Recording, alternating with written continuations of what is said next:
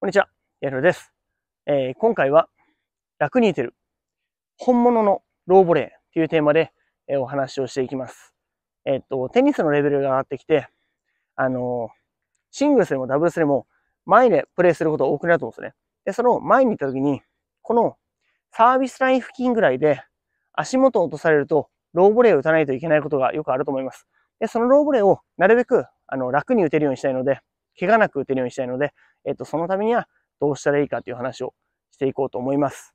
で、えっと、これですね、あの、僕いろんな方見てて、あの、すごく間違ったやり方で、あの、一生懸命やってる方多いので、あの、自分はそうなってないかなと思いながら、あの、自分の映像も撮影して見てみていただければと思います。まずですね、低いボール、どういう風に打つと思いますか？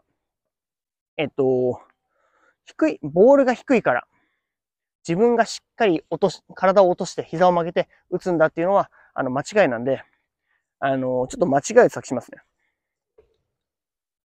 低いボールが来たとして、しっかり膝を曲げて、腰を落として、足を踏み込んで打つんだ。えっと、これは、えっと、間違いです。じゃあ、えっと、どうしたらいいかというと、こうしたい。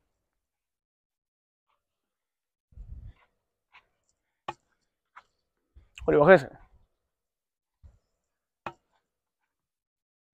これ何をしてるかというと、股関節を畳んで、肩を使ってオレを打てます。これは、えっと、バックオレも一緒です。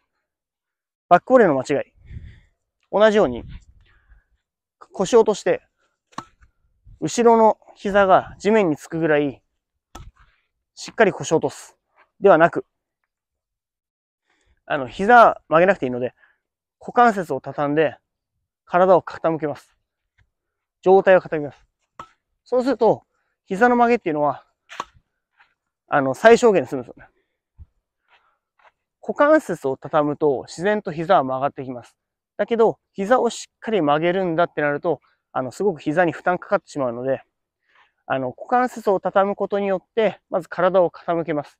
でも、ちここで注意なのが、頭はまっすぐじゃないとダメなんで、体を傾けようして、こうやってボールを見ちゃうと、あの、ボールを見にくいですよね。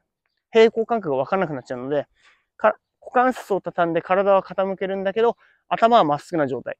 その状態で、股関節を畳み、肩を使って低いボールを打つことができれば、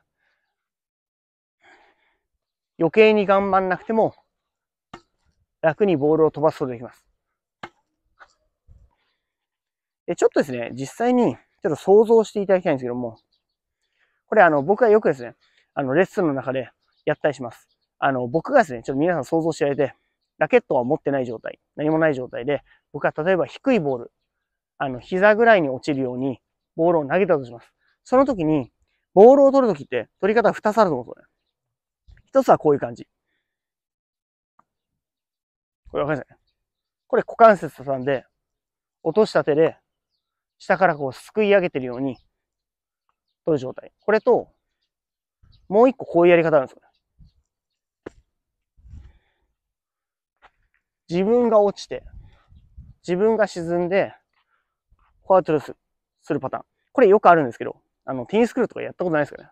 もしくは昔あの、うん、やったことないかな。ボールをここら辺で取るときに、あ、ここら辺で取ろうとしたとき、こうやって取ると思うんですけど、これ、うやって取る方いると思うんですけど、肘を曲げて、手首を甲側に寄って、手のひらを上に向けたことによって、キャッチするみたいな。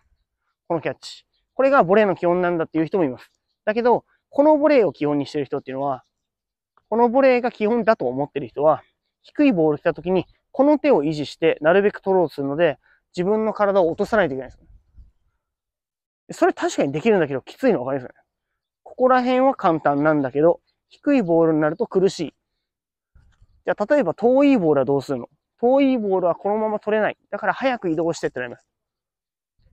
あの、高いボールもこのままじゃ取れないので、あの、早く下がるのか、もう手の形を変えてしまうのか、っていう風にしかなんないと思うんですけど、その時に僕の考えはじゃあ何かっていうと、低いボールと取るときは、こうやって取るよりも、こうやって取る方が楽です。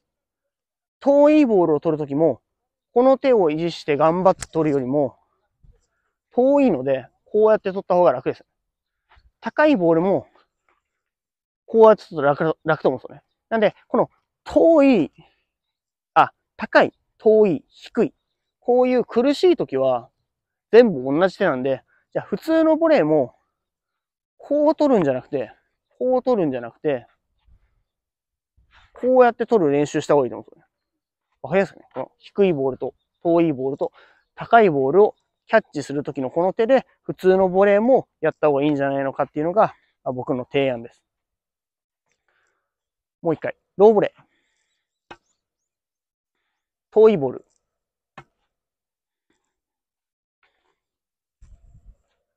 高いボール。近いボール。っていう感じで、あの、テニスっていうのは基本的に、あの、野球みたいに、ここがストライクゾーンで、ここにしか投げちゃダメですよ。ここにしか打っちゃダメですよとかだったら、これでもいいかもしれないんですけど、あの、ストライクゾーンっていうのは全部こう取らないといけないと思うんで、あの、いろんなボールに対応できる手の方がいいと思います。ちょっとあの、最後、手先の状態だけちらっと伝えると、さっきこれ、肘曲げて手首を甲側に折って手のひらを上に向けてました。え、この状態ではなく、どっちかというと肘を伸ばして、肘を伸ばすと、この手首のままだと、こうなっちゃうと思うんですよね。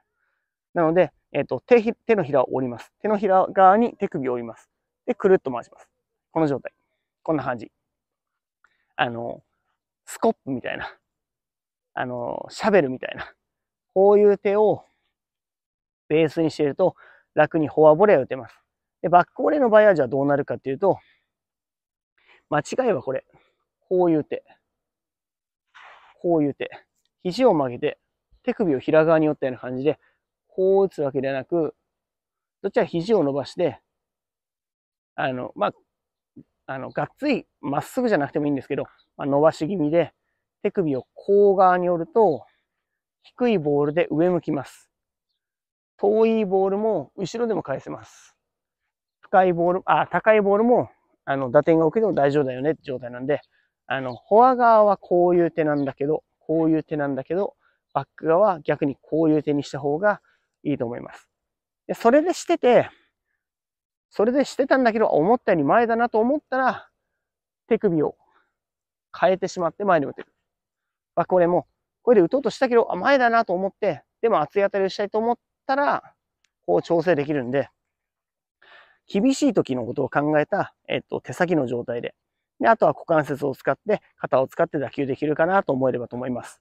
はい。まあ、ちょっと最後、前からも取っとくので、えっと、フォアボレーとバックボレーの違いというか、参考にしていただければ。まあこれローボレーの話なんですけど、実際にはもう全体につながるボレーの話と思っていただけると思います。低いボール。遠いボール。高いボール。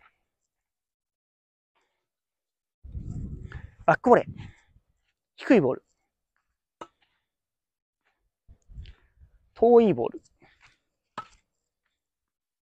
高いボール。はいっていう感じでした。はい。まあ、あの、今回の動画を見て、あの、俺の考え方と違うな。あ、そんな考え方もあったんだ、みたいな。はい。そんな感じになればいいかなと思います。なるべく楽に打てるようにですね、えっと、練習していただければと思います。それでは、えー、参考になったという方は、いいねと、えっと、コメントと、チャンネル登録をぜひよろしくお願いします。そんな感じで、えー、今回の動画は終わります。ありました。また、え、次の動画でお会いしましょう。あなたのテニスがより早く、効率よくレベルアップできるようにと思い、え、オンラインレッスンを立ち上げました。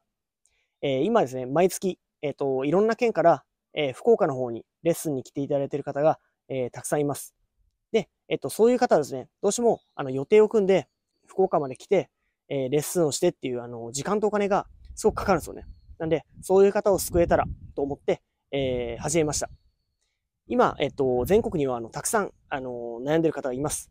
テニスもっと早く上達できないかな、今自分はどういう状態なのかなっていう方たくさんいるんで、えー、そういう方を救いたいと思って、えー、作ったので、気になる方は、うん、詳細はですね、えっ、と、概要欄に載せてるので、えー、ぜひ見ていただければと思います。ざっくり言うと、えっと、フォアハンドならフォアハンド、バックハンドならバックハンド、まあ、サーブならサーブ、なんでもいいですけど、えっと、一つのショットを僕に動画で送っていただいて、えっと、課題を伝えます。で、課題を伝えて、改善するためには、あの、どうしたらいいのか、練習方法などでも、えー、お伝えしていこうと思っているので、まあ、そういう形を、えー、とっています。本気で上手くなりたい。